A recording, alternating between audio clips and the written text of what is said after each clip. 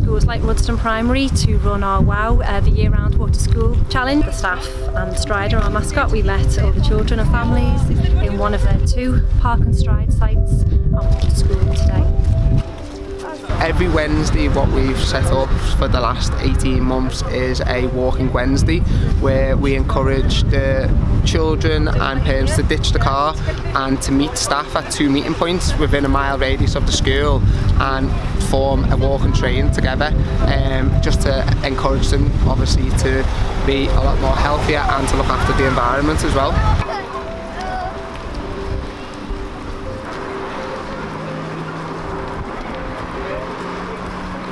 Loads of reasons why it's important. It's good for road safety, it's good for health, um, all the reasons that we know. But in particular in this case, um, air pollution, we know it's a problem for everybody. But for children in particular, we know that it worsens asthma, it can cause asthma.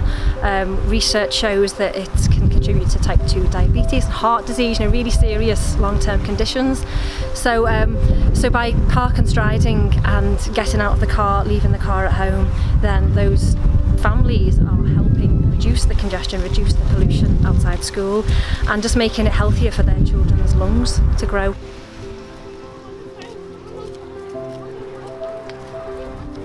It's been very successful. Um, the children are rewarded with stickers and if they walk twice a week um, they log it on an online system and at the end of the month they get a specific badge as well um, which there's 12 to collect throughout the year so all round it has got a lot of benefits um, and the children love it.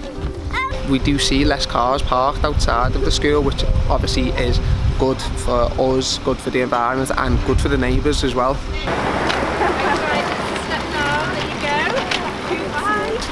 100% yeah.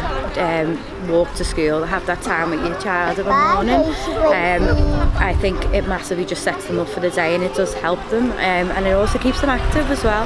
Um, active body active mind and yeah she's happier when we walk